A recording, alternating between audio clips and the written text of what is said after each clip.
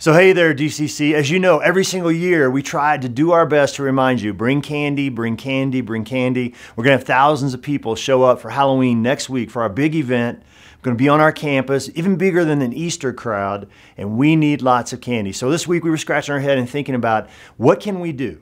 To keep this in front of you. So even if you if you watch this video, you don't forget between now and this weekend when you're coming to church. And so we thought the best way to just burn this into your memory banks was to do this.